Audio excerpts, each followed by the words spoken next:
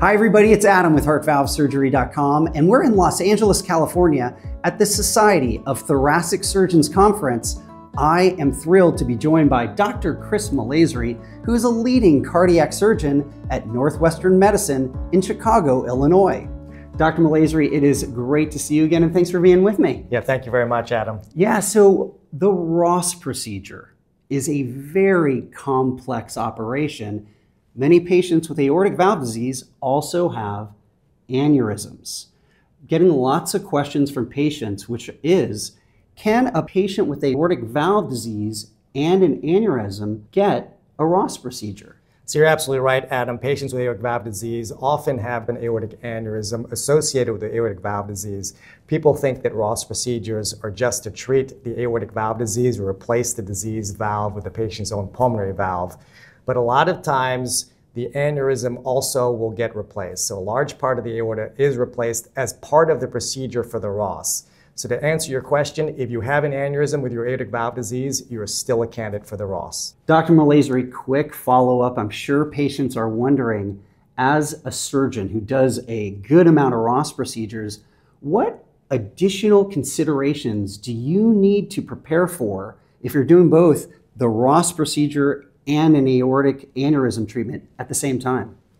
Yeah, there's two things I look at for the Ross procedure. First, is the procedure doable? Can we do this Ross procedure and give this patient a fully functional aortic valve? But I'm also looking to make sure that the procedure is durable, meaning it's long lasting, years, maybe decades in the patient's lifetime. So the technicality with aortic aneurysm is to prevent failure of the pulmonary autograft, meaning that we don't want to see the replaced valve, the pulmonary autograft, get bigger over time. So there's techniques we use during the surgery in order to stabilize the autograft so the autograft does not become aneurysmal. And I think this will make the procedure not only doable, but also durable.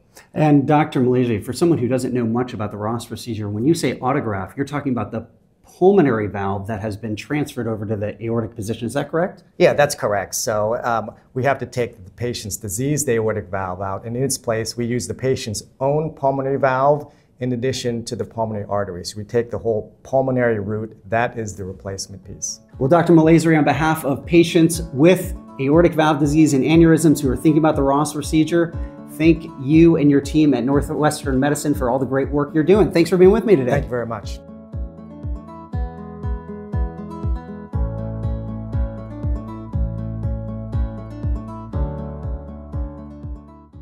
Hi, everybody, it's Adam. I hope you enjoyed that video. And don't forget, you can always subscribe to our YouTube channel, watch the next two educational videos coming up on your screen, or click the blue button to visit heartvalvesurgery.com.